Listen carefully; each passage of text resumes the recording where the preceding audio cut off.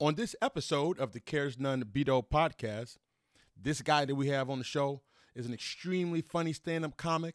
He's a social commentator. He became a stand up NBC finalist. He also made an appearance on The Tonight Show with Jimmy Fallon. He also co hosts the Man School 202 podcast, one of my personal favorites, and the host of his own podcast called Between Spots and all kinds of other shit.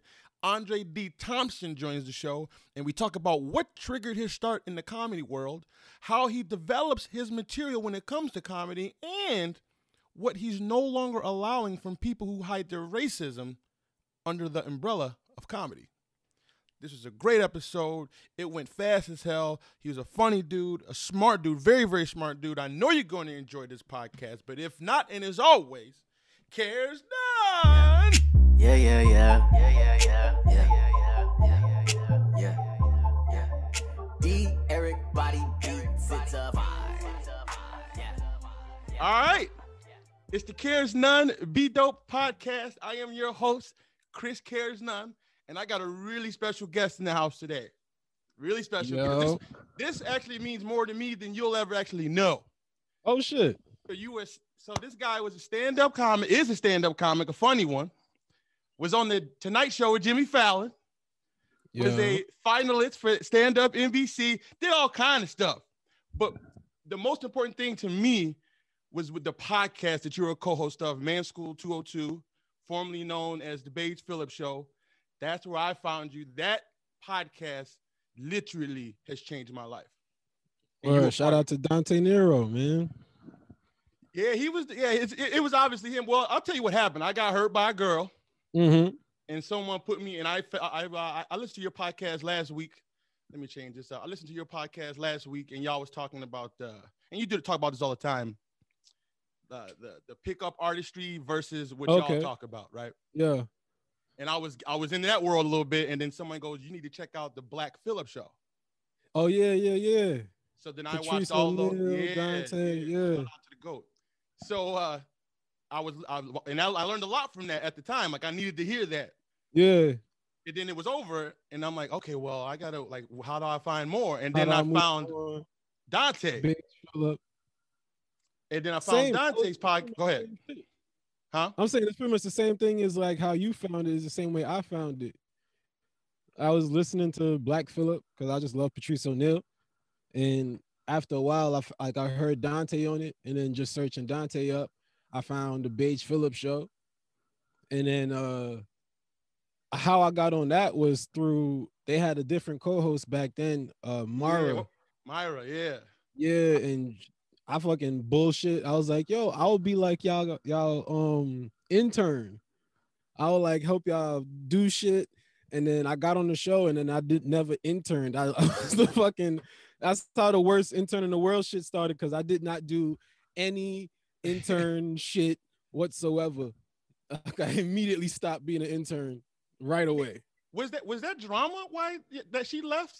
She was a yeah, big part of the they show. they had their own issues because that that shows they was going on way before I got there, and it's it's kind of like when you know uh like you grow up in your family and then you hit a certain age and all of a sudden you're, you're like your mom start telling you the family secrets Yep. why she don't fuck with your aunt why the uncle don't come over fuck Cedric all that type of shit start popping up and then you're like oh I didn't know there was drama going down inside the house.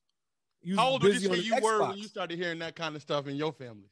Shit. Um, I was, you know what? Possibly it, really kicked off this year because I'm I- I'm I'm 28 now, and we was just in the house.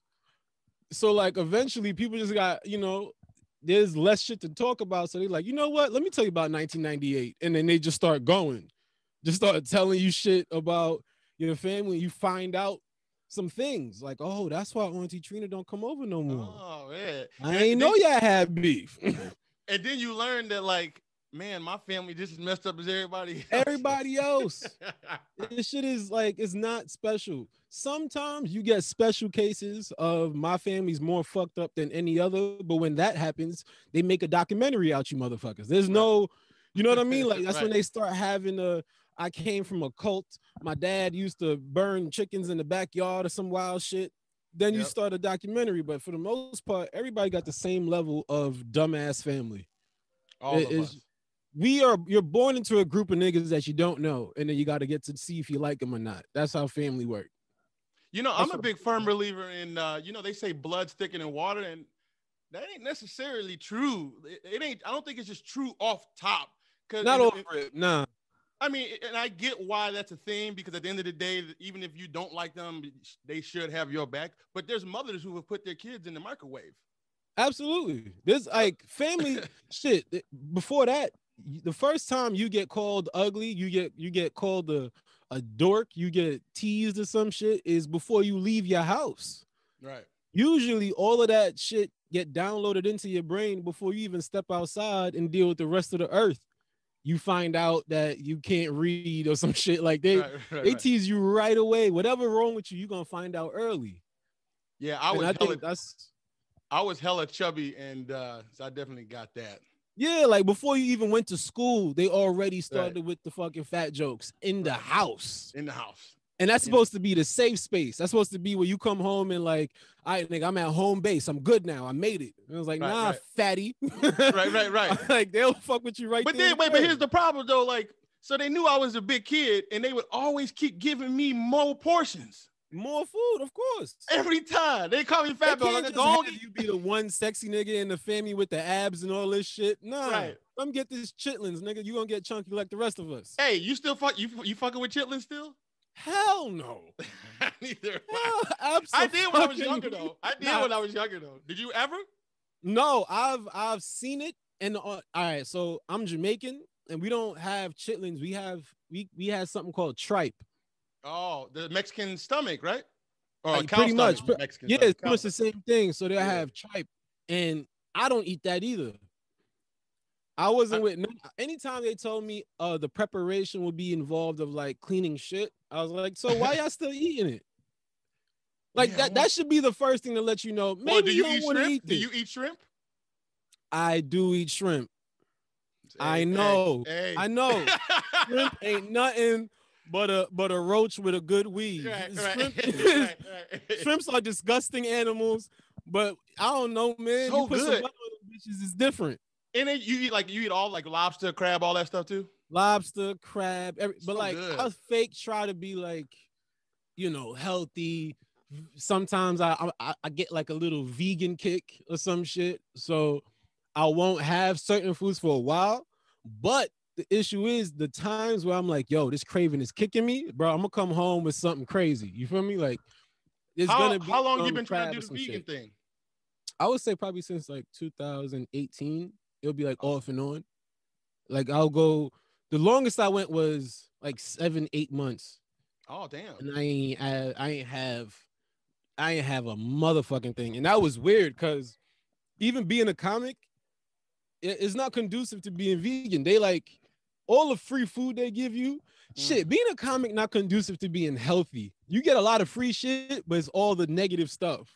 Free wings, free beer, free coke. right, right. And I would imagine too, like as far as like the drinking in that atmosphere, you have to almost be like the club is that's where the bar scene is, you know what I'm saying? So you're just Yeah. kind of surrounded by that lifestyle. Absolutely. You got to be uh you definitely got to make a choice. You actively got to make a choice of am I to take this drink?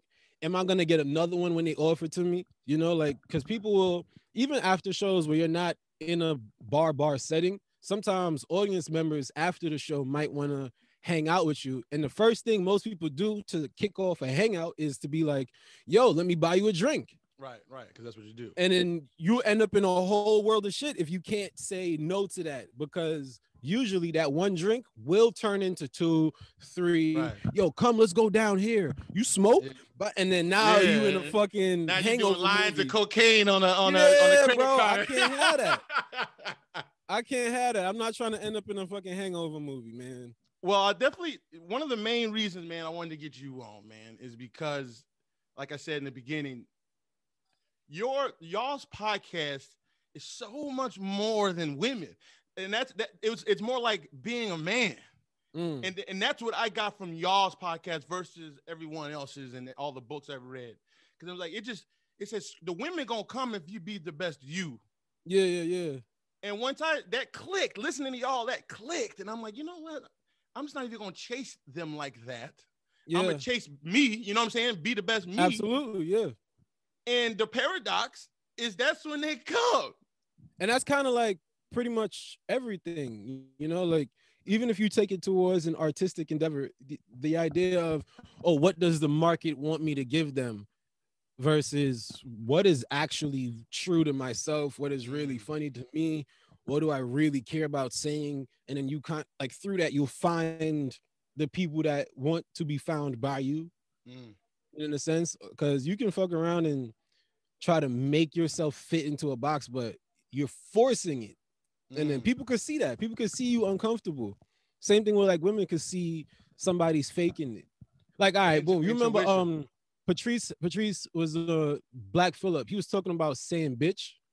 Oh and yeah. he was yeah. like the thing about how he can say bitch because when he says it it's not him putting on something. He's not like attempting to become somebody else where he's saying the word uncomfortably he's No. uncertain of himself He's type of au- thing, He's authentically himself. yeah it's you you got to be what you are and if you're the type of dude that's going to say that then you you better fucking say it and also you got to be prepared for whatever's going to come with it Like what Like, y'all always talk about is be willing to take that L you fucking in that life. shit go for everything bro right, It right. go for everything. If you're gonna be in these streets talking hot shit like you a tough guy, all right, but be ready Yeah, when a right. tough guy show up. Right, right, right.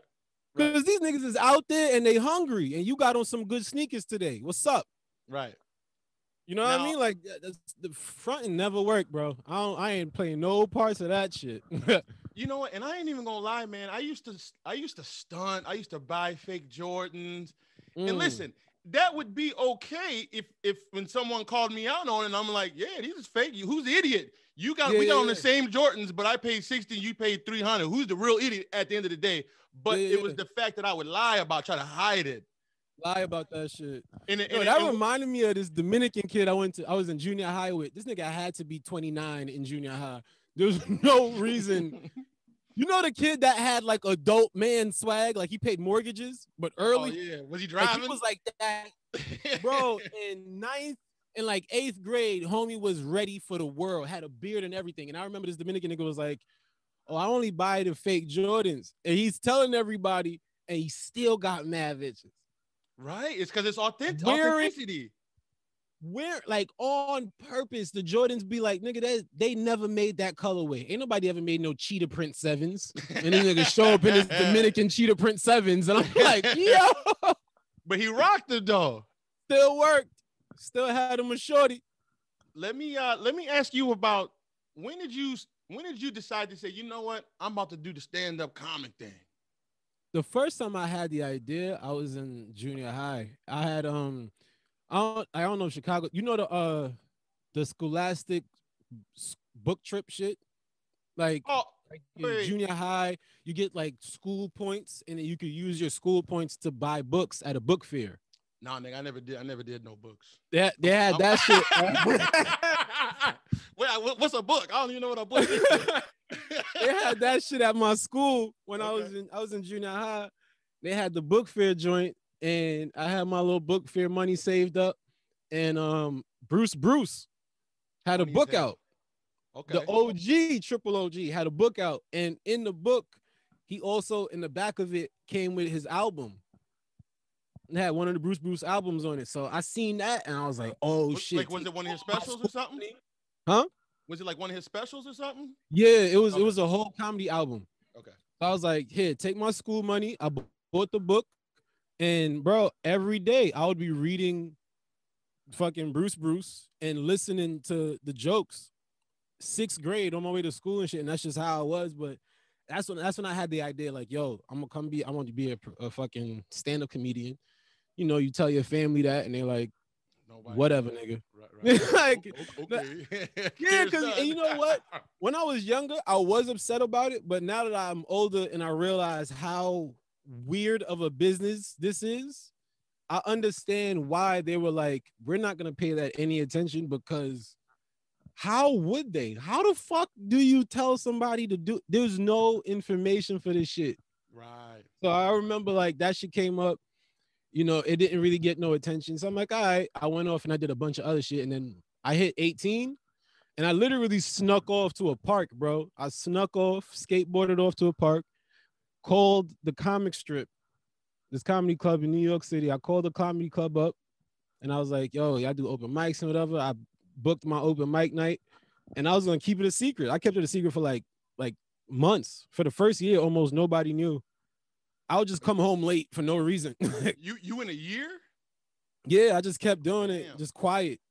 Didn't tell nobody I was going out doing stand up. getting those reps up, right? Getting those reps. Yeah. Up, right? But then Let me ask after you- that, hmm? No, I was gonna say. Let me ask you this: What? What did you have to get over the fear of going up there? I know that's all things people talk about being a stand-up comic, getting over Um, the fear. nah, I think uh I think I was always okay with looking stupid. So you, I so think that's the most good taking part that of L. fear. I th- Right. yeah, that's the most thing when people have fear is like, what are people gonna say? Are people gonna like it? Are they gonna make fun of me? And I, I was just I was jaded by that shit. I made I, I've embarrassed myself too many times to give a fuck. Like Right, right. I will never forget this, bro. I, I can't wait for this to pop up in my life again because I remember in junior high, this was like eighth grade. And you know, towards the end of the school year, teachers and everybody stopped taking school serious.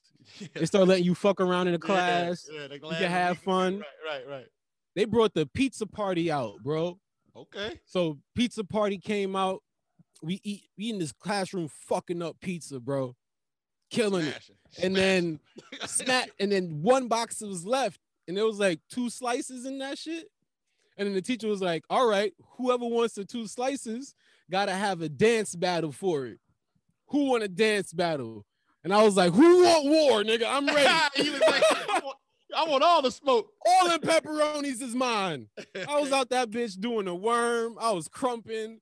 I was like, "What the fuck is wrong with this kid?" I was just ready. I was already okay with looking like a jackass. I didn't really give a fuck what people thought.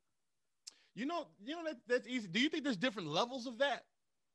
Absolutely, because as I've gotten further into comedy, I've gotten better with that feeling of I don't care. Mm. In the sense, it's a very particular I don't care because I care how I'm received. I care if the show goes well. I care about my material meaning something. I care about trying to, you know, contribute something to the craft.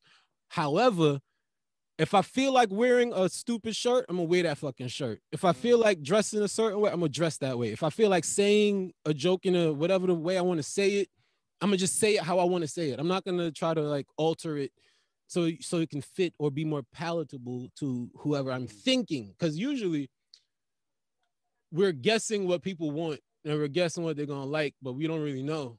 Like I'm sure this happened to you where you had a fan of your shit and you like, you like me? All the time.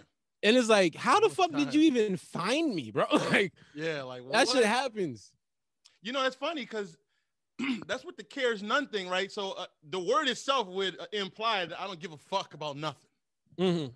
but that's just not the case. Just like what you said, there's certain things you do give a you cares a lot about, Yeah, yeah, yeah. but there's some things that that the way I look at it is the things that I cares none about are the things that keep me from accomplishing the things that I want to accomplish. And, Absolutely. and, Hell and the yeah. big and the big things are like one of the biggest is failure. Mhm. uh, the, the the the people's opinion, you Yeah. know, uh, looking stupid. You know what I'm Mhm. saying? And then if and I and I, the reason why you would say cares, I could almost argue it's it's disingenuous because the reason I I flaunt it out is because I'm trying to tell myself to care none more. You know what I'm saying? yeah, yeah, yeah. Like, oh, you why you caring about that? I always talk about this, and sorry for anyone who's um heard this already. But I used to eat, I used to get chicken wings at Jewel. We I don't know if y'all Mhm. got Jewel out by you, but and they had like these little called, called wing zings. And I would go in Mm. my car during lunchtime and I start smacking them bitches. Bop, bop, bop, bop. And Yeah. then someone like someone would pull up right next to me. And uh, mind you, I'm just a regular guy eating lunch in his car, minding his own fucking business. But for some reason, I would put the wing down so like Ah. see me looking like an idiot. Like, but but when you break that down, how dumb is that? Like Yeah, you're a human being who eats, right? Mhm. Now listen, I was a big dude, so obviously I had, you know, I got some of that whole trying to get over that shit. Yeah. But when you really break it down, one- here's a couple things I learned from that in hindsight. One, they don't even give a fuck. Mhm. Like who even and then even if they do give a fuck, they give a fuck for like two seconds and then they forget. Yeah. So I'm like, oh, okay. And I just had so I've been trying to steadily keep working on it. And then even when I po- posted, so my comedy is way different from yours, right? And the stand, and I know, and I want to ask you this too. Stand-up comedy versus like the Instagram thing. I know a lot of people in stand-up kind of, at least back in the day, it was kind of like, oh, you Yeah. niggas, you niggas ain't where we at. And that's true. Mhm. It's way different. It's a different practice because stand-up comedians also, when we try to freaking become Instagram comedians or Vine comedians, it doesn't come out the same because we're it's two different types of mind thinking comedy. It's kind of like when there's a there's comedians who are made to write jokes. These people cannot perform them. I do not know why. They don't have the they the, the inability to change the tone of voice, the inability to like show ex- facial expressions, stage presence. Certain things are missing, but they can fucking put some words together. That's funny. And then there's that type. Then there's other types who who are all stage presence and no real words, but because of everything else going on, it works. So it's just like so many ways to get the same job done. You know, make somebody happy, get a laugh, all of that. But it's just different ways to get to that avenue. But let me ask you though, would you say I think it's starting to change now, but there was definitely like a almost like a look down upon. Oh, absolutely. Hell Is, yeah. is that still going? to an extent because we still see it as stand-up comedy the stage and microphone the the the emptiness of stage mic and that's it that's the show is is undefeated Right. there is no help there is no assistance there is no nigga, Like as far as editing you, a clip or something like that. You mean? there, bruh, it is you and people. They're staring you dead in your eyes, Mm. just looking at you, waiting. And it's like that that rawness, that level of it's a fucking there's some you feel it. It's a it's a real live fight. Like you feel that shit. It's a tangible air, you know what I mean? And that can't get replaced. So because the people who are who really go into that lifestyle, you you have to live a certain way. You know what I mean? Doing stand up before COVID, I was coming home 3:30 to 4 a.m. every single night of the week. You know what I mean? It's you live a certain lifestyle, and that shit will give you. You be like, yeah, y'all not doing what I'm doing. Y'all doing a, another version. Right, right. It's different. It's definitely different.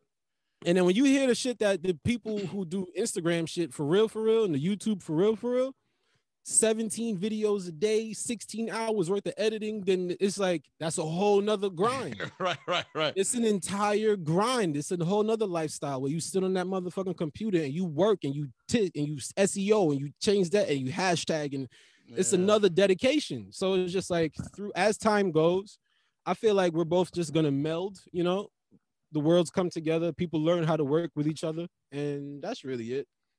That's well, I like your I like your perspective on it because it, it doesn't come off condescending and uh but Because so it would like, be foolish too, man. Because you can see talent wherever talent is. If it's real talent, you're gonna be able to tell.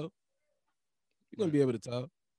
because I know like with the whole uh, so I do everything via you know camera and stuff like that. Yeah, And I didn't go to school for no editing, and I had to go on YouTube. just picked it up and rocked. Yeah, Right, right. And it's a lot, man. that shit is not easy. And comics are learning that now, especially now because of the, the COVID. Yeah. We can't go outside and do what we've been training to do Mm. because they've removed that right now. So we had to Right. find other avenues. And now, shit, I'm on the internet going, what the, f- how the fuck do I hashtag this? right, right, right. It's a man. It's what's it's, the so much- edit, man? right. It's so much behind the scenes too, and even with y'all, like people see a finished product and don't realize what the fuck is going on behind the scenes. yeah. They see Like, if I- hour and they think that that's that's it. You just went up there and you got you was funny for the night, and it's like nah. Oh, that's like a year or two in the making and shit. Sometimes. yeah, you gotta like fine tune. Literally, like you select words, man. Like I've had jokes where I was like, just for an example, instead of saying select, I would say tangible, or it- like you would have to pick. You you're you're gonna pick words. Like I've heard people go so deep into being like, it's a joke about a car, and they'll be like, "So I was driving my Nissan," and like, Mm-mm, "Nissan ain't it." I was driving a Buick. Buick is the one, and people laugh harder on Buick for some fucking reason versus they laugh harder on Honda or something. So why do you think that just. Just it's just it's just the way. because the, the, the, the- when with stand up and like live performance you get to have these moments of there's different breakdowns you have phonetic language and diction and it's like rap you have like how rappers would make they'll force a word to rhyme with another Oh, word even though it don't technically like rhyme, but but you can make it. don't you can fucking make it work Right. and you have to be the one to carry that shit across the finish line that's the is that it- type of thing where Now like is that what you mean? Is that when y'all practice? So like, you know, when you go up every day, are you trying new shit every time you go up? So you work the same. So tell me the breakdown of how you work on a joke. Well, all right. Well, that also goes case by case for comics because some comics, I kind of came with the mindset. I was I'm such a huge rap fan that once I started comedy, I thought we were supposed to be similar to like rappers where you just constantly have shit, just keep making stuff up. You never say the same bars over again. So the, for for for my first five to six years, you guys, my homies, bro. We was running running these mics together, running shows together and shit. I would not say the same jokes. Every mm. single night, I would try something else. And then, See, I would imagine that would set you up for more L's because you didn't work. yeah, Right. you right. fucking bomb. you absolutely got a bomb. But But then which is still good though because you get to feel you get to feel that. Isn't that the whole key? You got to like own it. you got to own it and you you could even bombing there's a skill set in learning how to bomb right. Like all Dante bombing always- isn't equal.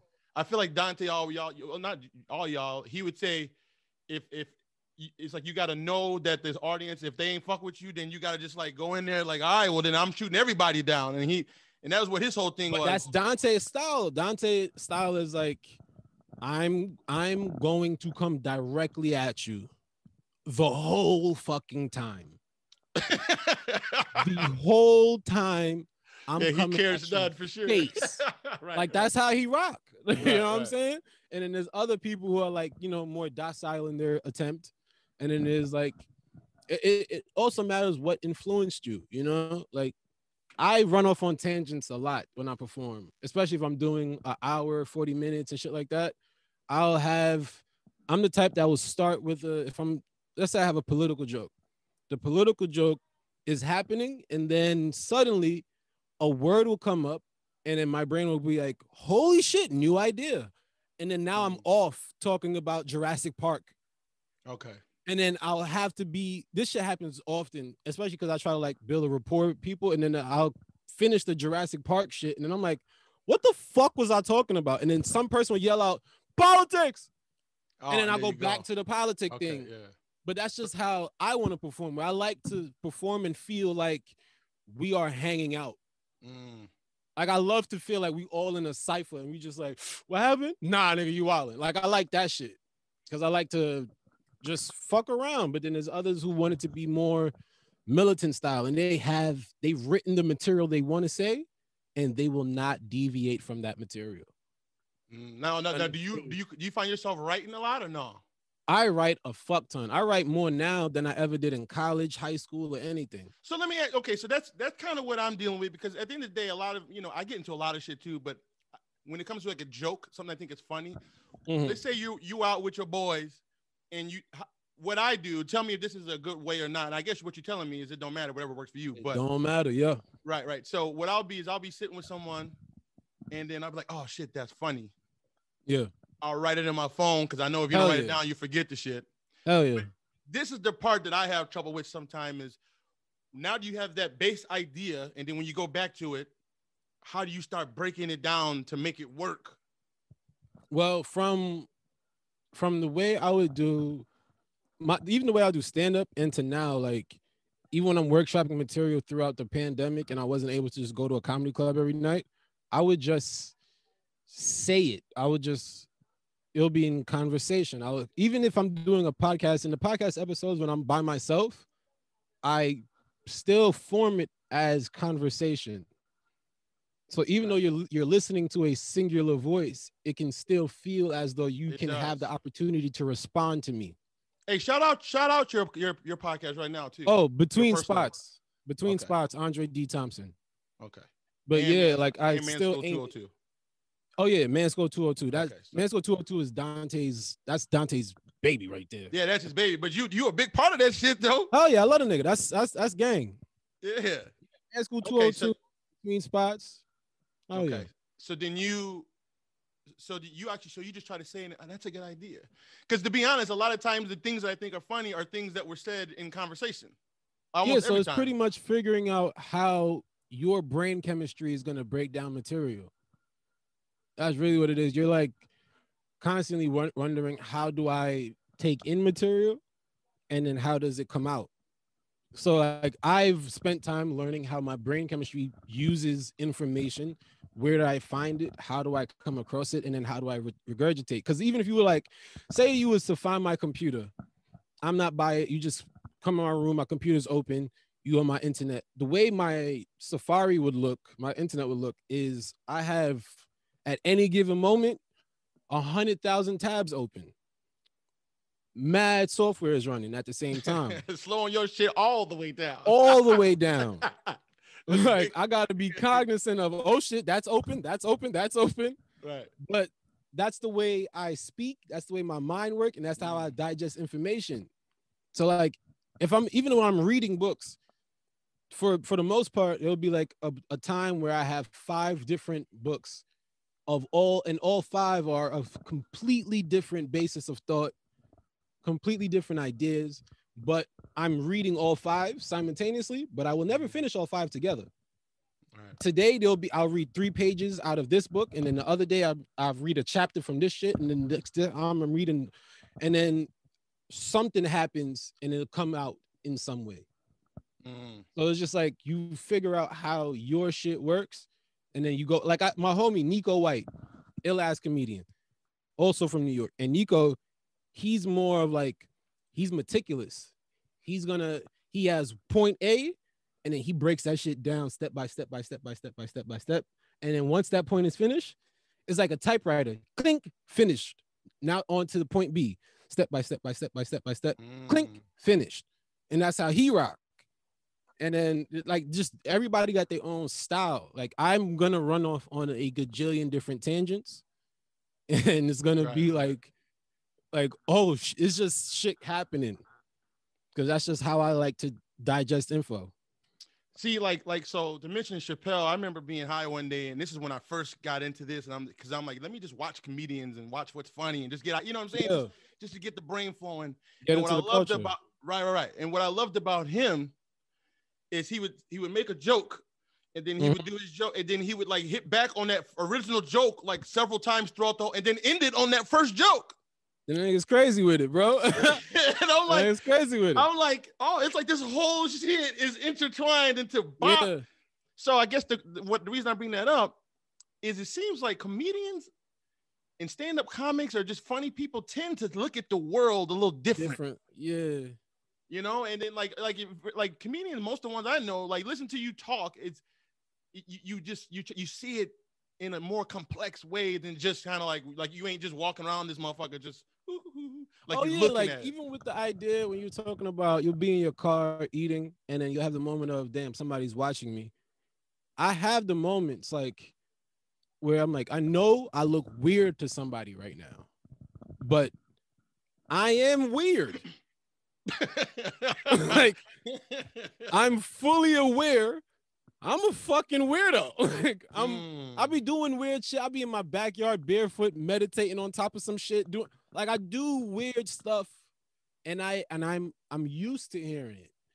But Mm. it's like, uh, it's it's also you people sh- should see it. You know, like that's how you have these new ideas. It's because you've seen something that wasn't there before, Mm. and it sparks a new thing. You know what? That kind of reminds me of y'all of Man School 202 last episode. Harry was talking about, uh, and shout out to Harry, the, another co-host. Harry Terjanian and the homie.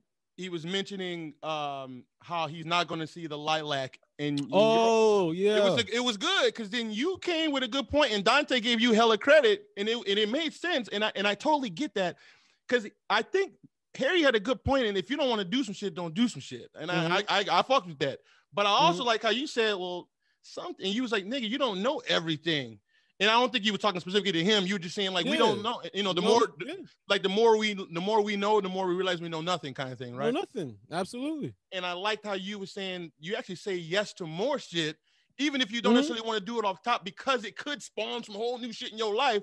Some whole new. Sh- I have, I have books in here that I bought that I know for a fact when I got it and I went up to the register, they was like, "What the fuck are you buying this for?" Like I know they were thinking that. Right. I had this. This one makes me laugh every time I see it. This one right here. Fucking combat in the erogenous zones. it, it- it's it's the idea of of like women's bodies and feminism and how people don't you know respect the sanctity and all kinds of different shit and i don't whatever you know but my brain is like i'm i bet you for some reason i'm gonna read something on page 216 and that's gonna make me think of some other shit and then that other Mm. shit is gonna make me think of something else and then boom i have a whole new thing now It's like oh, it's like, Like, that's how I see your it. right? it's just like I feel like I, I have I read things that have nothing to do with me. I watch shit that have Mm. nothing to do with me. I go to places that ain't got shit to do with me because I'm like, something in here is gonna trigger off something that's gonna link to something else that Right. may, you know, create some. That's how like food. oh, I, When I- you cooking, when you cooking, you making your shit, and you look in your pantry, you see all these damn fucking spices and ingredients. You pop into your fridge, you see mad shit, and you like, all right, I know I'm making an omelet that's a classic bacon, egg, and cheese or something like that. And then you go, what if I just throw some rosemary on it? What Mm. happens? And like that's how I like to look at everything. Like, what if I just did this shit? and it goes back to the point that you could put some rosemary and fuck it up, but you were still willing to take the L. Willing to take the risk. Right, right. And now I got the story of remember that dumbass time I put rosemary in my bacon, egg, and cheese? Mm. Fuck around, you get a you might turn that into a little joke. Like, But then the reward is the it was it might have been fire with the rosemary on it. but the reward is anything. Because if I if I right. come away with a with a fun ass story and it's great and we having a good time from it, There you go. that's a reward. Right. You know, if I have a new perspective that I can now implement into my life and enrich it, reward. If I actually get to eat the damn thing and it tastes great, reward. Like I just see it as I don't fucking know. It might be dope. Right, right. You know, as long as it's- not gonna harm, I'm in. you know, I uh speaking of the food thing, I was I was talking to this girl, Yeah. and this is this is before I even knew anything about what I know now because of y'all. But uh and I was, you know, I was trying to court her. We just started going out and dating and everything. Mhm. And she was like, I love Indian food. And I'm like, you know, I'm a nigga. I'm like, yeah, I don't know. But I'm Mm. like, all right. Ain't no and this is- tikka masala over here. So in in hindsight, in hindsight, the the the I did something that I didn't want to do, and I would have thought, based on other than what we're talking about now, that you should have tried it anyway. So I guess I still ended up doing it right ultimately, but at the time I was doing it just to please her. Just to wrong. I should have did it just because I wanted to try some new shit. try some new shit. Right, right. So anyway, so I'm like, all right, whatever. So I go there, end up loving tikka masala. shit was fire. I was like, okay.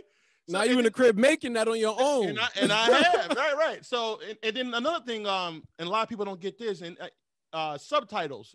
She used to. I'm like, well, how, how the fuck are you watching subtitles, right? Mhm. And but she's like, I don't know, I just do it, but whatever. Again, for the wrong reasons at the time, but in Yeah. hindsight, the right reasons now. Now I can't watch a movie, and, and to me, I do get the movie more with the subtitles because there's so Mm. many things that I typically would have missed. You know, and it, the subtitles don't work for comedy at all. the subtitle thing uh worked for me in the sense of now I get to watch movies and films and all these other things from other places. People that speak a different language, people that Oh. grew up a different way. Mhm, And now because I can get to read the shit, I get to see and experience what they experienced and look at the life through their lenses. So you definitely So- check out subtitles, like you put them on. Yeah, I'll fuck with subtitles. I don't love them, because I like to do my reading in books. I don't want to. If I decide to watch something, I want to just fucking watch it. right. I don't want to read watch. Now I'll tell But you this. times Wait, I will do I'll. I'll tell you this though. I was the same way, and now because I and I get the people's philosophy be like, why you're not watching it? Like you're, you're reading, but I Mhm. promise you, once you get used to like the quick, you Absolutely. still catch you still catch the movie. Absolutely. I mean, I've I've called on my original time of learning how to fuck with the subtitles is because I fuck with anime. Mm, okay. I love anime, so if you love anime, you're gonna watch something with subtitles at some point. That's just Right. how the shit work. You know, right. like most anime is coming from Japan and China, so that's what you're gonna see. And that's when I was like, all right, I'm gonna watch Dragon Ball Z, Naruto, and all these other things because th- there once you you'll get to a certain thing too, a certain like season, and they stop making it in dubbed, which is like they put in the American right. voices on it. They don't make that shit no more. So if you want to continue to watch the show you enjoy, you got to read now. You got to, yeah. You got, now Yeah, you, I just like never got into the the. Is it? You think it's a generational thing? Because I feel like a lot of cats younger than me, you know, 20, Possibly, 22 to 30, you know, 28 around, you know, around your age. possibly. I'm an eight, you know, I'm 36. I'm an 80s baby. Yeah. I just I never got into the anime. But you're more with Z. comic books, right? I- you know what? I didn't read, so I wasn't a big, a big reader. But uh now I was like, I was a Power Rangers. Okay, know- yeah, dudes, because there's certain shit from each era that's gonna be like that's gonna stick more. Right. the only right. reason I brought up the comic books is because comic books predates both of us. Like Mhm. they were writing those shits forever, so you can you get to pick your you know Marvel or DC, and you can go off with that. But with when Japanese anime got fucking popular, that's like when it was super big. yeah, manga's out and all of that. So you, it was like a whole subculture to its own. Right. Let me ask you this in the pivot, because I, I want to make sure to ask a couple questions. Tell me your experience with the Jimmy Fallon situation. How dope was that? Like, That how did how did get kicked off? Like everything. So from the very beginning of the the idea of that, how did it get kicked off? It was um doing I did the NBC stand up NBC competition and I did mine in New York and in, and in New York a part of the competition's judges was one of the bookers for NBC for Fallon. One of the bookers is the judge. So I did my my semifinals, my audition and everything in New York and then I met the judge there. And then I got I got selected to be- be a finalist flew out to LA and then I it was like, yo, we like what you did in New York. Try it this way for tonight. And I was like, okay. How'd you, I didn't you really know why. I, I was just thinking like, I'm guessing this is like a challenge. Maybe you're just trying to test me or some shit. So okay. That's how I took it. Kind of like a sports thing. Like, oh, maybe you're just like trying to challenge me. Now, see, to I was like, interrupt you, I always hear that people always get weird about that. Like, why are you trying to change what I, you know what I'm saying? Like, Yeah. you because what I gave I you. know. I f- maybe they're afraid. Maybe it, they're it was on like, TV.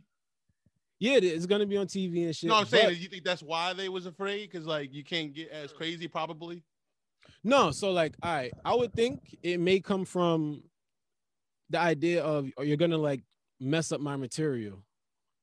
You know, you're gonna like have me look away that that's that's not authentic to who I am or Right. something. That's what I'm thinking. Right. Right. Right. Right. yeah like they might change you too much but um the the suggestions that was made for my set wasn't crazy It they wasn't telling me to talk about some shit that i would never say so it was it still fit in what i was doing and it was just like i ain't really got nothing to lose here Right. i, I came out here to try to get me something Right. Right. Right. so right, if the dude with the something to be gotten is like hey try it this way right. all right, I'm gonna show you that I can do it my way and your way and get the job Mm. done. That's how I took it. So I just I did the set. It was like that we like it. Yo, you ever thought about doing late night? And that's how it came up. It was just like in a conversation, like, would you try it this way? After I've done the set a couple times and Okay. I was like malleable because one thing I noticed with late night is, especially if you see like your first couple sets, first time on, they're in, they're in your set. They're like, there's certain shit you can't say on TV. Right, right, right, right, right. There's certain topics you're not supposed to bring up. Like I was Yeah, what are some of those? police. oh. One of the oh. jokes that I had for the set, the original closer, brought up police, and it didn't. I didn't like. It wasn't on no NWA shit. You know, I wasn't like Right, fuck. right, the, right. It wasn't Yeah, right, crazy. right. Fucking cops. yeah, it was just the acknowledgement that hey, our relationship ain't too fun. Right, You right. know, There- when I see you, there's- shit is there's been discrepancies. There's been some discrepancies, man. Just a few, just a few. Right. You know, we don't we don't get along too hot. So that was it. And they And were like, been- yeah, you and can't it's been a while. It's been a wait. Okay, that's a good point. They shut that. They was like, "Yep, can't say none of those words on national TV." So change that. Wow. All right. So he's and, okay. So I guess the reason I bring that up is Yeah. because if you put in a situation where this might be the opportunity, why not Mhm. get up on that? Why But not? then the, but then on the flip side, like Joe Rogan, for instance, he always talks about how in the beginning, when he first started getting advertisements, they said, you know, you got to put him in the middle of the episodes. yeah, right? And he was like, "No, I ain't doing that because it fucks up with the flow of the conversation." And he was like, "I'm telling you this," and then he was like, "Well, then I just won't fucking do it." And then now look, he's one of the goats of it. absolutely. So my point is, is there's got to be a fine line, but he already had some shit established, maybe you know what I'm saying. So maybe that's Which what it was. gives you leverage so that you can argue certain shit. And that's Right. the other thing that people constantly forget to mention in their stories is the the times when they said, "Okay, let me get in the door, Mhm. get in that, learn how the shit works, build my own, have my own credibility, have my own standing and everything, and then use that to leverage a career. But you don't just come in with nothing and be like, nah, nigga, I'm doing this. right, right. I, I don't got nothing to prove. I don't got I don't got anything that to show my show my work. I haven't Right. done anything, but I'm gonna tell you how it's gonna go. And was like I haven't seen that work. Yeah, so I, I'm. You're right. That's probably he don't. You know, he don't talk about what he did. Because back- like, look how long we've been watching Joe Rogan, Fear Factor, and all these other things. He's been doing stand up that whole time. He had something, and he started the podcast from way back then too. yeah, 2010. So he had a listenership already. He Right, had right. he was he was already rocking, and then he Right. built that. And then all right, now you coming in when I got a couple million listeners. We can have a discussion of how I would like this to go. Versus, I have three listeners, and you have the million, and Right, I'm still trying to be like, nah, this is how it's gonna work. Don't nobody listening to you yet, nigga. Right, right. Now let, me ask you this: like, did there's a part of I, I think don't you think it's not it ain't necessarily cut and paste. Mhm. Do you think that there is times like you know what, like for instance, Dave Chappelle and signing that uh that deal and that whole thing that just happened recently with him and Yeah, I would say like he he signed that thing kind of knowing like he knew what was popping, right? Like as far as what he was getting. I would think you don't think you have at least an idea, you know, entertainment lawyers or something. That's what I would think. Yeah, at that time. But then like, also it's like I've seen times where you're like, damn, I mean, I want to get in. right. And at those times, especially, you couldn't really just say, I'm a fuck it, I'm gonna take my shit to YouTube. There wasn't no YouTube yet. See, I think the YouTube has definitely helped people with that kind of balls. Yeah, to be like, I can make my own shit. I can have Right. my own, you know, fucking fan base and everything without needing a huge network to say it's okay to listen to this guy. Which is so dope nowadays. I think that having that everyone can do their own shit. Then you got the Patreons and all that kind of shit. Yeah. So which is But that- super I just want to see what's gonna go forward because I don't think these massive companies are just gonna disappear. They're not gonna No. just roll a fuck over and go. It- gonna- right. They gonna get theirs. yeah, like this shit is it's sports, bro. Like people really get drafted. This shit is on some. We're gonna buy up your talent for this amount of time or something. They throw money your way or try to make a deal or negotiation. Like shit's in a weird spot right now. super weird. Let me ask you this: What is your what is your goal? Like Mm. like what is it that you desire? You just trying to get some laughs? You trying to make people laugh? You trying to feel better? Like what is your desire in in doing in being a stand up comic? My desire in being a stand-up comic, Like like like what is like before? How about comedy? before you die? What do you want to be known for? I affected culture. I want people to to see certain designs, certain edits, certain like this is why I make weird shit like this. No, that's hella Because- dope though. I I like things to have, you know, style. You know, I want I want something to be easily identifiable where it's like you see and you go, I Andre was involved with this. Mm. You know, I, I want the idea of different worlds coming together. Like I have a lot talking of about Kanye interests. last weekend or last week. Like I've yeah, like I love that shit. Yeah, like you putting worlds together and and the idea of not having a limitation on a singular form of art where I have to only be a comedian. Like Mm. that that is only one of the things that I am good at. I have other things that I am good at and they can all join forces. They can come together. Like yeah, I don't have back to in the like- day, fucking Picasso, you know, writers and like they would hang out together. And they feed off of each other's artistic energy and see Mhm. different things and open up pers- perspectives and shit like that. So affecting culture, like I want I want to make presets so that when you open up your your your editing app, there's a preset that I designed to help your picture. You just press it and your picture look Mm. like how I would create a picture. You know, Right, like right, shit like right. that, even like a- clothing, chairs, like all of that type of stuff, you know, books, just affecting culture in a real way.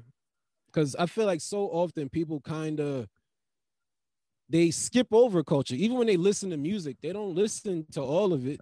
They skip over so much of what was put into the song. They skip over so much that was gone into these scripts, these movies. And it's like people are digesting art too fast.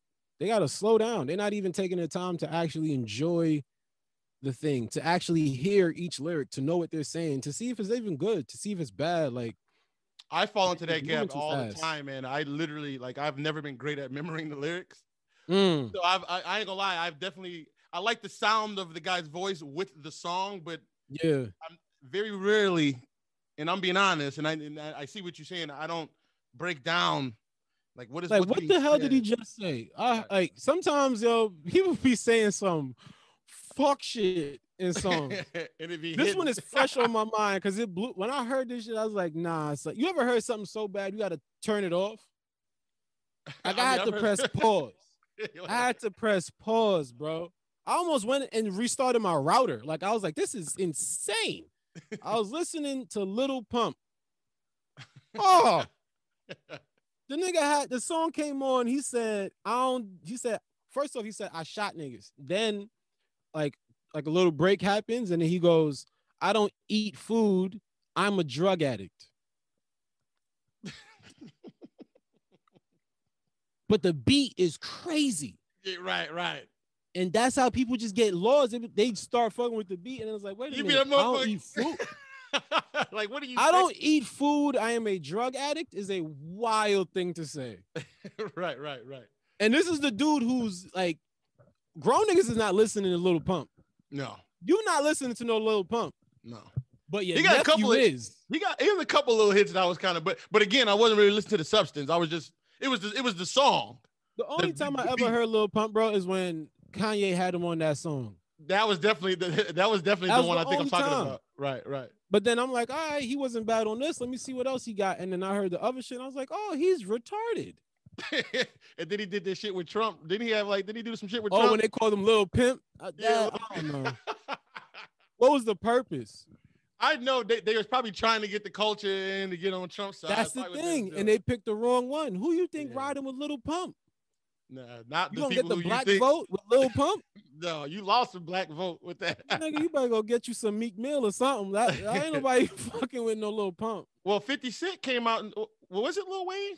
50 they- and Lil Wayne had a little like something. Oh, I, th- I, I what I thought was Lil Wayne actually did something, and 50 was like, "Nah, I ain't doing it." 50, yeah, I think 50 like made fun of the situation, but Lil Wayne Yeah. did end up with a picture with Trump. But also with the Lil Wayne and Trump thing, I genuinely don't think Lil Wayne knew what was going on. I don't he think Lil Wayne was- he know what it, anything's going on? He Yeah, like he Lil, he be high talking about spaceships and and being from another moon or some shit. That nigga not paying attention to whatever the fuck Trump was saying. Remember, he was talking about some some some some white nigga named Bob. He's not listening to that, man. He's just Hey, Lil is in his own his world, bro. own universe. Counting his dreads. He's just making Right. sure all of them is still there. Like that's all he's doing. he just sold his uh he just sold his his whole young money, didn't he? For real? Hundred million dollars, including the masters. Yeah, See, for hundred. And he just got got a gun charge. Like too much is happening right now to that dude. I'm like, there's like a, a conspiracy. Why the fuck? Yeah. Something weird going on, bro. Because he just came back. He dropped, I think, two or three fucking fire albums. Yeah.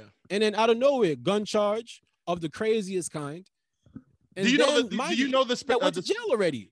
you know the, spe- the, the the specifics of the gun charge? I I know the didn't hear- man's probably facing like 10 years, and Wayne has a record already. He already went to jail for, I think, a gun charge. Oh, so you you you would say there's a chance he definitely ends up behind bars on this one? It's like it's I hope the fuck not, but it looked like it. You know what I mean? It's just it just doesn't make sense. The the the timeline. He had the beef with Wayne with with Baby not releasing none of his songs. Then he gets the songs released, ends up in some fucking picture with Trump. Then after the Trump picture, gets a gun charge, and now he sold all his music. It's like, what the fuck happening to Wayne, bro? Well, and it ain't just it was. I don't. If I'm not mistaken, I could be wrong, but it wasn't just his music. It was also the masters to the people under him. So it was like some of Drake, some of Drake's masters, some of uh, Nicki Minaj's masters. That's fucked up. See, like say it was worth something more than a hundred million on. dollars. something going on, bro. Even with them contracts and all this shit, it's real crazy. It Yeah, is ki- like Like kind of like that uh that that stimulus bill. You saw it was five thousand pages. the stimulus bill. Uh oh. That fucking- The stimulus bill, bro. Woo! how you hey, how you feel about the stimulus bill? I Nigga, can't wait I to hear see- this. For one, they know good and damn well. None of. I keep seeing these posts of like stimulus bills simplified, because people know we don't know what the fuck that shit mean. No, That's it's the thing. five thousand pages. they, they know that they're writing these things like in in code.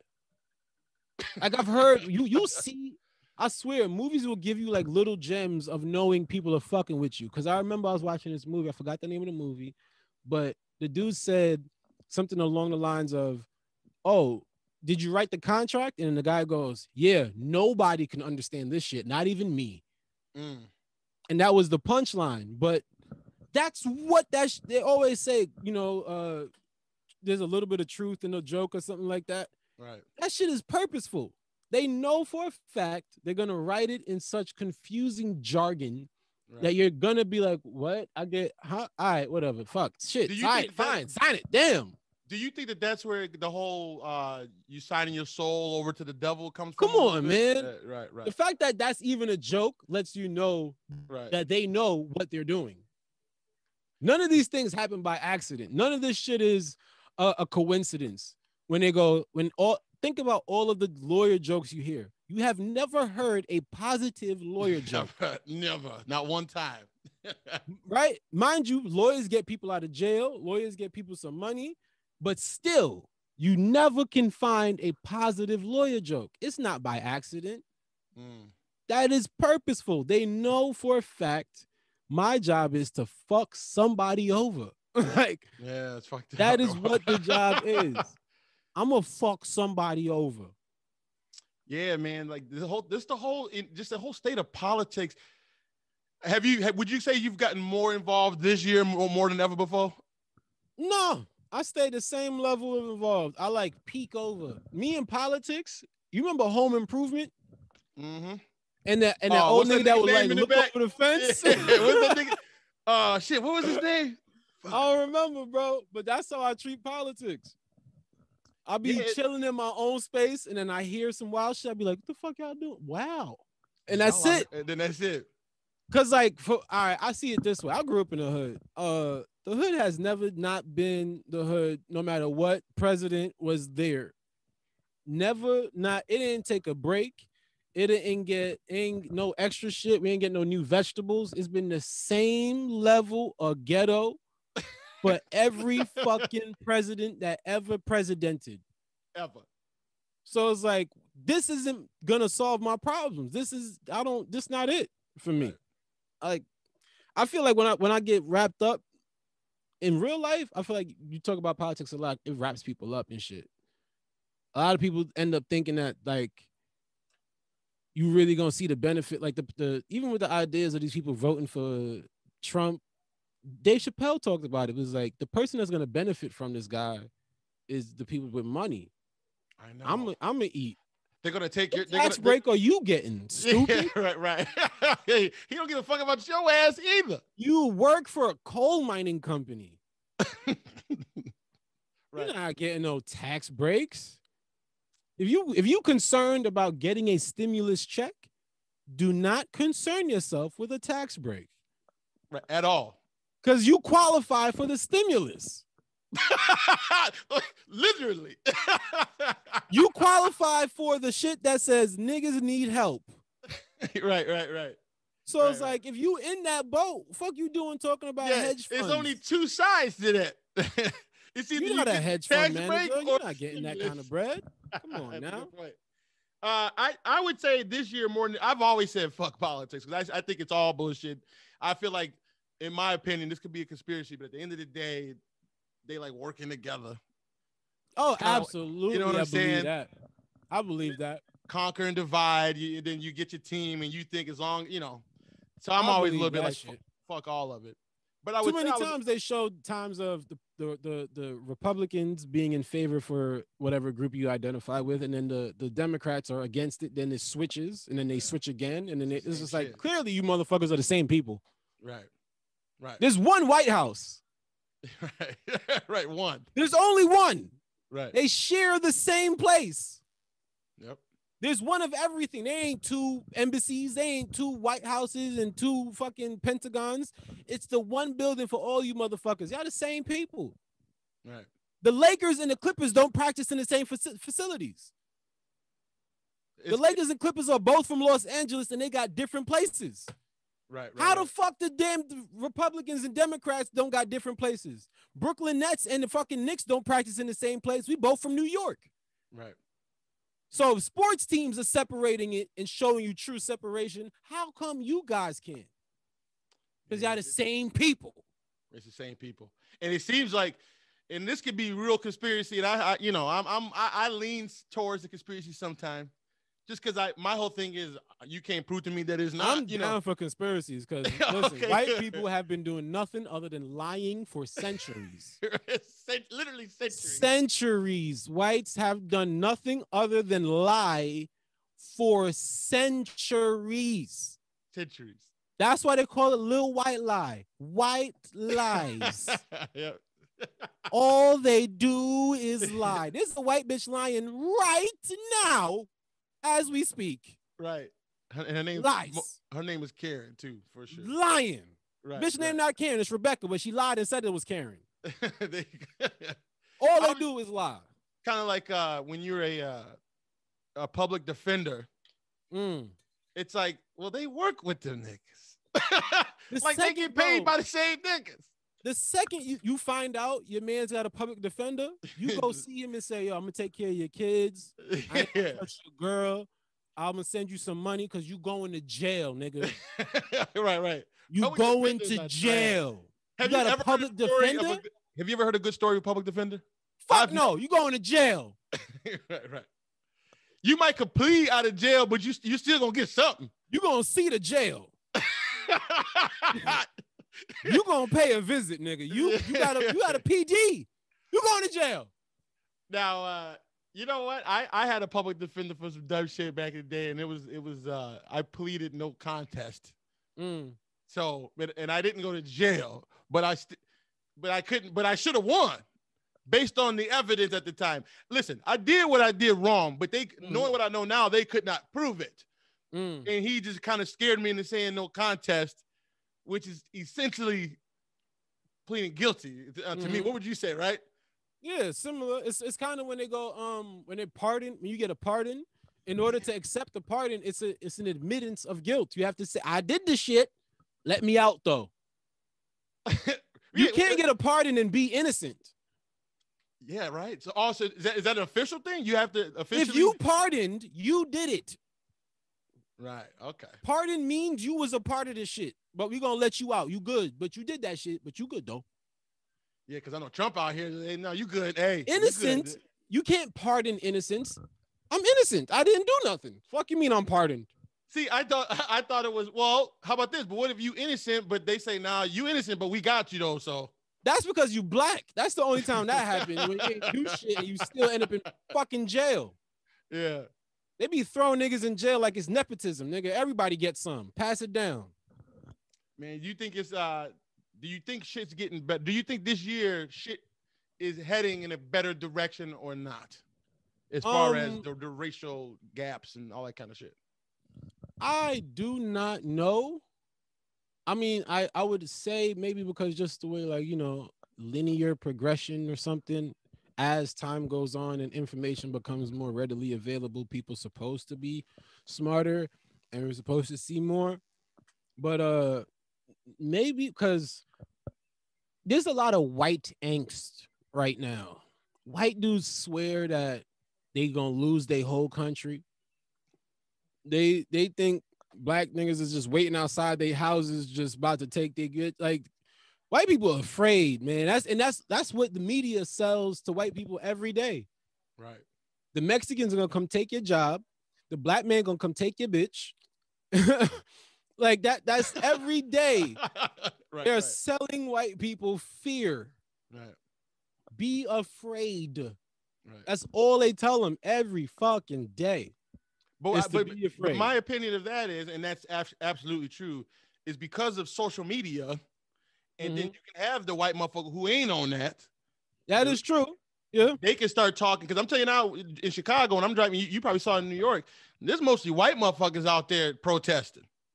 Yeah, but with the with that shit is that the thing about that, it's like they're protesting, but also I found I, these comedy shows, bro. You, you New York City, you get these mixes of people at these comedy shows, and even with the comedians, you know, you get you get a comedian that grew up in Tennessee that moved to New York, and they're a liberal. You know, I'm a liberal. I'm a liberal, and it's like you're afraid of me because I don't fit into your idea of safe black. You know what I mean? Like these are the same niggas that would be like Black Lives Matter, but see you and run, Mm. See you and flinch and feel fear. And it's like, you still don't see the humanity in me. If you are constantly in fear of me, like I'm a fucking lion, you don't see me the way you see you. So it's like, yeah, you marching or whatever, but do you believe it, nigga? Now Do I guess really only that person, only that person would truly know. So, like for instance, my best friend, he's he's actually he's half Cuban, half white. Mhm. But if you saw him, he's a white man. You know what I'm saying? He looks like a white person. And I'm telling you, nobody has had my back on this planet over even over family Hell yeah. than, this, than this man. So I believe in my soul that Yeah. this motherfucker looks at me as his equal. I I, I believe that in my soul. So I do think that that is possible. It's absolutely possible. Absolutely fucking literally possible. 110% I believe that without a doubt. Because to say that a blanket statement, all whites, it's it's ridiculous. Right, right. Because Because I'm they telling you, fall in the same boat as them when they go, You're one of the good blacks. It's like, shut the fuck up. now, yeah, that's that's the problem.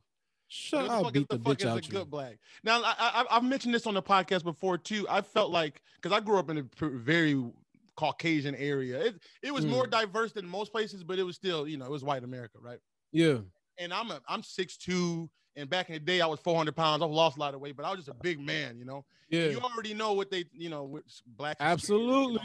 So I had to almost bubble it up out of fear. Right, right, right, right. He all Mr. Nice now, right? Yeah, I had to- Smiling. yeah. Hey, everybody high five. right, Come here. Right, right, right. Who wants a donut? Now here's the problem. Dumb shit. Now here's the problem. Me today, I feel like I'm still a bubbly guy. Now, is that because I actually am, or is because I just that's just what I've been Mm. molded into all these years? And I That- battle with see, that. I mean, I feel like a nice guy. You know? even with that, like Patrice would talk about it where he's like, he was talking about how like you know the, the way they are on set and they come in hi and it's like seven in the morning and they're like oh my god and then you just want to sit there and be like yo what up and because you're not on the same hey they're like oh my god what's hap- what's wrong and it's like nothing i'm just a grown-ass nigga that grew up a little different than you right, right, right. that's it like Right. this the same shit you've been talking i understand the idea of having to be bubbly and all of that to to disarm people because Which i'm is- what I'm 6'2", saying is- 'cause 200 something Which is fucked up, though, is what I'm saying. Like, it's like, Absolutely. I can't be myself out of fear of, of Bro, offending you or making you. for the first couple years in stand up, I like I've heard so many different like you know opinions of oh Dre seems a little you know dangerous or he might snap or and it was just because I come in and I I'm mean, you got that on the podcast. You got that on Man School, though. They, they yeah, like you just chill. Like if you just chilling, bro. If you just chilling, this is enough. When you a big nigga and you just chilling, They're scary. this is enough right, right. to cause a problem for people. I know. I can make so people feel uncomfortable by just chilling. Which is so fucked up. That's fucking nuts. so fucked up. That's the insanity. It's so true. And the thing is, is they people who don't go through that just can't comprehend, can't comprehend what that's like. For instance, Dante always talks about this too.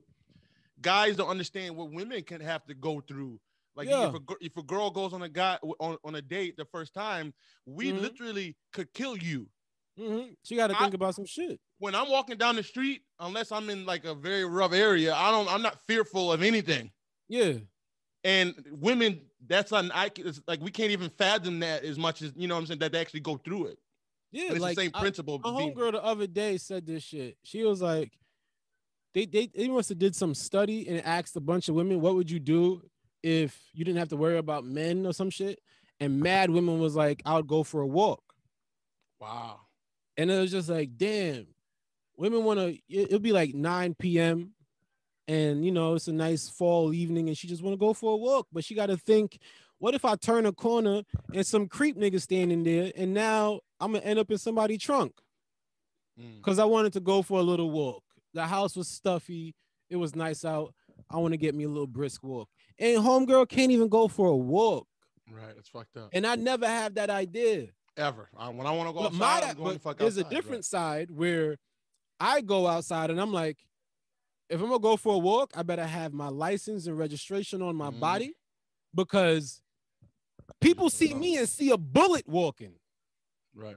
They just see a six foot bullet walking down the block, like that shit going, like that's how you get treated. So it's just it, so many people gotta adjust their lens to let other people live the way they should and want to be able to live. Because women should be able to go for a fucking walk, and I should be able to chill at 6 a.m. in the morning. Right. Right. No, I don't I don't need to be bubbly at 6 a.m. bitch. I don't that's not what I do. And Shorty want to go for a walk at 10, she should be able to go for a fucking walk. Yeah, Shit's it's crazy. How, it's crazy how that's a that that's a that's a thing still. And it feels like that's like an American. It's like a I don't know about that because they be think wilding in India. India is known for for not having it too nice on the women's side of the town. oh okay, my fault. Not the women. I, I meant like I was talking about racial Us. issues Uh, because I know shit, like I don't know because Well- England, you know, black people got it hard all over the world. Remember when China in in. Wuhan, the virus came out, they was throwing niggas outside of China. Like, ah, this got to be your fault, darky. hey, and it's like, why they- fuck, hey, nigga? hey, why they hate us? bro, I've been in this motherfucking room reading too much goddamn Black Power books. I'm convinced, just like how I said about the white people been lying to us for years, dog. Too many times you look back in history and find the origin of something, and you like, damn, it was us that did that, and they didn't tell us Mm. that it was us that did that. Even the sentiment of having docile Africans that you know that we needed to beg for freedom. Meanwhile, they never told you about the millions of slave revolts, hundreds across the globe. How Mm. Haiti freed itself, how Jamaica had many revolts. And they don't tell you these things because if you find out that you come from people that got a spirit about them, you might feel like you got one. You see what I'm saying? And like they really kept these shit secret, bro. Like most of the education that I have, I did not acquire from school. On your own. School taught me that I was a slave that can't read, that needed help from this white man. It wasn't until that I started to educate myself that I found out differences about where I came from and what I am. Right. All they do is lie to us about us. Look like, at like, the like the, the, of the establishment, you're saying. Bro, yeah, and Right, and right. so before that, because when you look at the representation of the country of Africa, the, the continent of Africa on these maps, nine times out of ten, they make Africa the same size as all these other continents or smaller in representation. When the fact of it is, Africa is fucking massive, huge, bigger than most of these other continents. Right. They will never tell you the amount of resources that is in that country. And then if the if the you would think about this is simple logic. If you come from a family in the inside of your home, you have a lot of food. You you come from a home that has abundance of food. You would be able to eat. That food will show on you because it that's where you come from. Right. But what actually happens is you come from this house that has an abundance of food, but yet every fucking day, a group of white people walk into your house and take your abundance and don't let you have anything that's yours. That's what Africa is. That country belonged to Africans, to black people, melanated people. But yet China's walking in, taking shit from it. Europe walking in, taking shit from it. America walking in, taking shit from it. But yet the Africans is sitting there hungry. And y'all want to show us these fucking faces with these damn feed them 59 cents. Yeah, I was about to say I that's all you ever see. No meal for 59 cents, nigga. Ever. Ever. What you gonna give me? Some Utz chips? right. See a little African kid with a fly on his fucking face and he eating some sour cream and onion? That don't fucking happen. That's the only time you like that's and, and as a black man growing up, especially in this area, I that when you think of Africa, They try to think tell you it's some sad shit going on there. Meanwhile, it's mud and huts. Right. Come on, son. They be doing nothing but lying out here. That's all they do is lie. I saw a clip on social media of somebody driving with a phone through Africa, like a, and it was like a legit nice fucking neighborhood, Of like one that's one. Of the, and my point is, is and I'm and I'm saying this as a black man. Yeah, I I'm feel like, you. I never, I'm like, I never shit- seen this shit. Yeah, I never saw that. You only Why see the bullshit. Come on, son. You only see the boom boom bar. That's all you ever see. You don't all see. they ever show you, bro. right. That's all they ever show you, and they don't even tell you the history of that. Well, It's- well, my point is, is I do believe in my heart that because of social media and because motherfuckers do have hearts, that Mhm. that that I do believe more like the layers of that onion is is coming off. Maybe it's not fast enough off. Yeah, because there's a lot of motherfuckers out there fighting, losing their lives and shit. Of for you know what I'm saying? Like people have Yeah. died. White people have died absolutely. for the black cause. So like I, it's definitely in a better direction for sure. Absolutely. I would never say that I am living the life of a black man from 1900s. Right, right. We got My it pretty fucking good technically. Immensely better right, right. than right. if I was born in 1920. But that don't mean 18. Right. But that don't mean it ain't, it ain't. It's that it's equal. Right. It- yeah, like there's still things going on. Like one of the things you like you brought up the Fallon thing. I know for a fact, bro, like the, the thing about white mediocrity, how a white dude can do framp framp, they can fart on a mic and get a get a deal. It's so. Meanwhile, too. You got you better be fucking amazing that's true. and be That's true. amazing for mad long Right. to get 17 cents. Right, right, Like that's the shit Chris Rock was talking about, where Chris Rock live in his neighborhood in New Jersey. It's Chris Rock, one of the best comedians of the ever. Ever. There's Jay Z, one of the best rappers of ever. There's Mary J. Blige, one of the best songstress of ever, and some fucking dentist. dentist. Right, Some right. stupid fat ass dentist. And you find out most doctors, doctors do not respect dentists. In the Yeah, doctor I read world, they laugh at dentists. And here comes this dickhead with his fucking Benz. Right, right. Why? Because he's just some white dude. The nigga even create teeth. Nothing. Nothing. Right, right. Goofy ass dentist. Now I'll tell you this uh, uh, personally. So I was a serv- server at a restaurant, and in order to get the same benefits as some of the other top servers in the restaurant, Yeah. I had to be superb. You the illest server. You making the Right. food, serving it, burping Right. niggas, giving them help. right, you want you need salt, like rubbing their babies, all kind of shit. Helping. I can't make Come no on, son. mistakes. They gotta enjoy me. They gotta be happy. Like, oh, Chris was awesome. You know, it's got to be so over the top to get the same benefits as the other servers that I'm clearly Come overall. on, son. Right, right. That's true. I don't that type of shit, I can't let slide. Like I feel it already. I like I do not have it in me to allow fuckery. And that's another thing where you're saying, like, how come it not how come, but like, do you think going forward that you know the relationship between black and whites and other races or whatever is gonna become better? And yes, because I I'm I'm in the pocket of I'm not fucking asking y'all Mm, for it to become better. right. I'm gonna make it that way. If you don't like me, I'm running the fuck over you. That's how I feel. Like I'm I'm not the more I've realized how much deceit, how much they hiding from me, how much they lie to you about what you are, all of this type of shit, how much they lie about their own history. Mm. They don't tell us about Belgium and the hand that Belgium had in the Congo, murdering millions of Africans. They don't tell us about King Leopold. They, they have you thinking it's just Hitler and Hitler ain't touching no niggas. Hitler never had beef with niggas. there was no niggas in the camp, no, which is a fucking lie. bullshit. So all all of this type of shit, I'm just not with none of it. I'm not with none of it. I'm not letting nobody slide.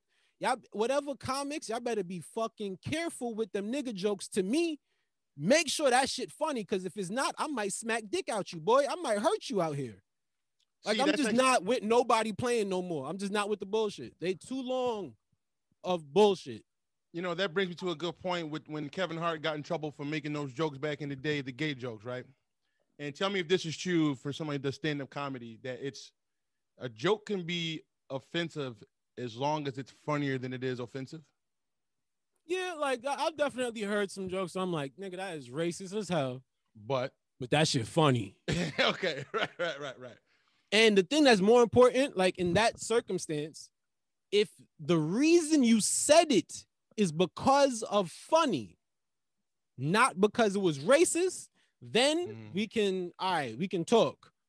Cause I am a comedian. I can hear that. Right, right, right. If right. you if the sole fucking purpose, and I mean the only purpose you said that shit is because it was funny and there is no malice in your heart or mind whatsoever, then we can talk. now But you ever you, sense that there is something wrong, I might push your teeth in the back of your throat. I really might. right, right. Do you ever get that feeling from from comics?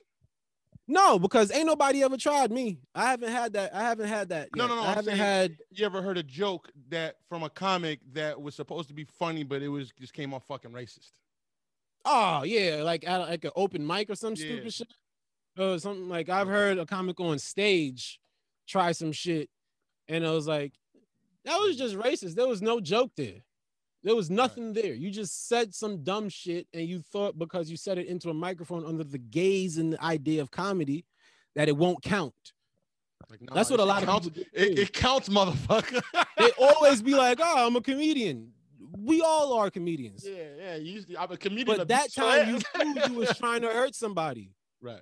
you knew your goal was to hurt somebody. Your goal wasn't to be funny. I'm always down for the goal to be funny. If the goal is to be funny and that is all, all right, we can talk. Right. But if you got other motives, we got to do something to you. right. You got to feel something. You got you going you got something got to happen. You got to get touched cuz you got other motives. And you lying. You lying to me, you lying to yourself, you lying to all of us talking about oh, it was just funny. Meanwhile, you hate niggas. Right. Which don't I'm help. not with none of that. I, I don't I don't say people of color. I do not include myself in people of color. And the sole reason of that is the other colors don't like me. You can't bring no black man to Mexican household to meet the abuelita. Gonna be like, get that Negro out of here. You can't bring no black man to meet your Chinese moms, your Japanese dad, your Swedish father. They don't like us. Indian niggas be dark as fucking India. Still don't like black people. So Yeah, ain't no people of color. I'm a nigga. right. Yep, I get you, brother. It's uh, it's it's it's fucked up. It's fucked up. I, I'm I'm I'm more of an optimist. I'm an optimist, but I'm an optimist that might punch you. That's it. there you go. Hey, uh, we get on some good time here, man. Hey, first off, I want to say shout out, shout out your your your Instagrams, your everything, man. What you got going on? Everything is Andre D. Thompson. Type out Andre D. Thompson and you will find me. That You is got- everything. Um, I, I want to say, like, truly from the bottom of my heart, thank you for coming on. Oh hell yeah, bro. Thanks for having me on, man. Thank you for being part of one of the most influential podcasts of my life. No, no joke. Appreciate it. Appreciate it, bro. Uh, when you Hold talk up. to Harry, like, and it, you know what? Before we get off, there's, there's actually a funny story. Damn, I'm not let's go. sure between me, or you, and Harry, or whoever it was. And I followed one of you, and then I followed the next one, and then we all got connected somehow.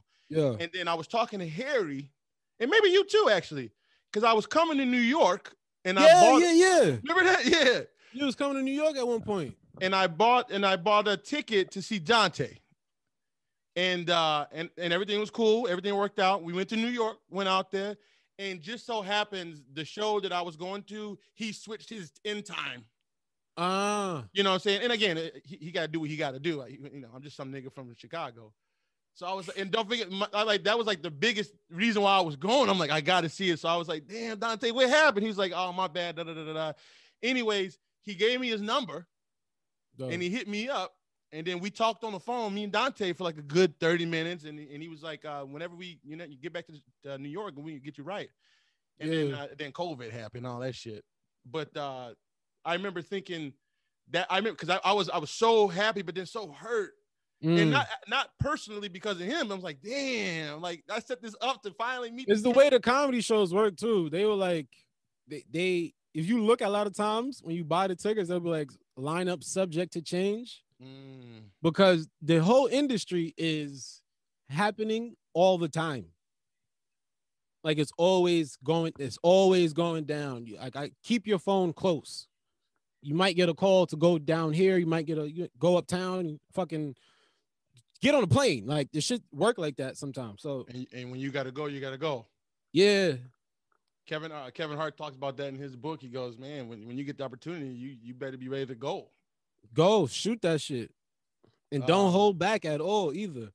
Absolutely that's another thing like that's how that's why i talk the way i talk now. Like this was always there but sometimes i would you know downshift. I'd be like you know let me not wild out all Let, let me let me clean it up a little bit, right? yeah let me not give them all a dre. Let me let me yeah.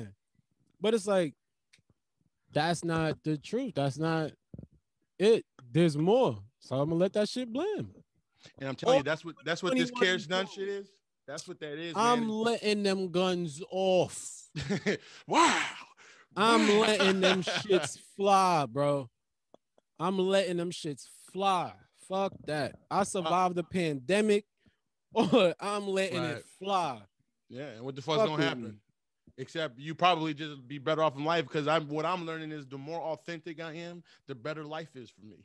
Yo, let it go, dude. Let it go. Right. Uh Let so like I said, go. do uh I'm gonna be hitting up Harry here soon. Here, I, I think he'll get on. He fucks with me a little bit, and then one, after I get y'all both on, then I'm gonna go for the big fish. yeah, yeah, yeah. Because he, yeah, he's the yeah. one. He was like the first person that you know what I'm saying. Oh, so like yeah. I and I think he'll do it one of these days. I think he'll do it one of these days. I'm gonna get him in there. Uh, word that's- uh, but again, I appreciate you, man. facts. I'm gonna see you soon. And when. I and when this shit pop open, open again, I'm coming to New Word. York. We gonna do something. and eventually, I'm definitely gonna come down to Chicago. Chicago got Chicago's a city for that comedy, brother. That's just a serious city right there. Oh, So and that's another thing too. Uh, I I definitely want to do that just because it feels scary. So that's why I'm going to do it. And the Mm. goal was to do it this year, and then all the craziness happened. But I want to just go up there and just feel it because everything you gotta. My whole thing recently is the good shit happens after the bullshit, right? So Mhm. I almost almost lean into bullshit because that's the level up.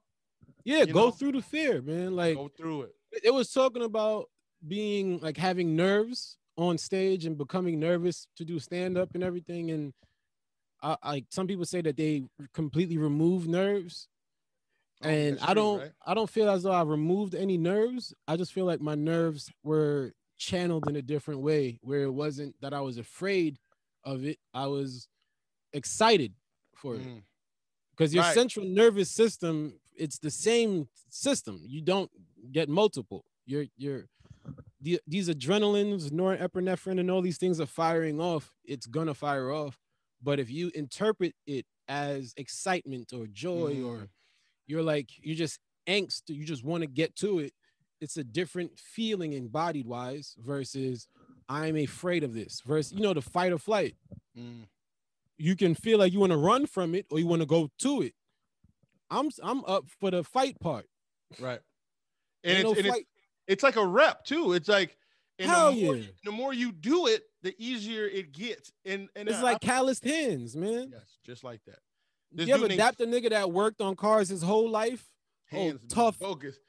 tough fucking grizzly hands nigga. Yeah, you you give him dap and it's then like fuck use lotion nigga right, right. them calluses it, Like The Rock. of work He shows his hands. His hands is bogus, but that's how you son. get to do that, just right? years of work, just constantly working, and now they could just grab that shit. You ever see your grandma cooking and she just grabbed the shit right out the pan? Right. The, the hot, Pan be hot hot, oil. frying. Nana don't even give a fuck. She just throw Right. their hand, bow, nigga. I've been doing this since '68. Yeah, I'm still using a, a, a spatula to flip my They're using them dumbass tongs. I'll uh, I heard something from the Seth, a dude named Seth Godin, uh, marketing guru. yeah, yeah, yeah. You ever heard? Yeah, super dope. I've been trying to get my brand popping off. And he Hell yeah. goes, "You never really get rid of the fear. You just learn how to dance with it." Mm, And I was like, "That was kind of powerful." I'm dutty whining with my fear. D- Dutty, what? Dutty whining. Me and my fear doing some freak nasty shit, nigga. Fucking out this bitch, giving it up crazy. Come here, bitch. You thick, fear. Come here. I'm getting it in. Uh, and one of these days, I'm gonna get you back on, and we're gonna dive more into the, these women, man, because that's something that people need to hear. I'm with it. but again, man, I appreciate you, man. We get you on next time, and let, I'm telling you, let Harry know I'm coming. I'm coming for All him. right, Brody. All right, brother. I appreciate you, man. Gang, stay out of trouble. Word. All right, bro. Yeah. Word. Yeah, yeah, yeah. Yeah, yeah, yeah. Yeah, yeah, yeah. Yeah, yeah, yeah. D Eric Body Beats. It's a vibe.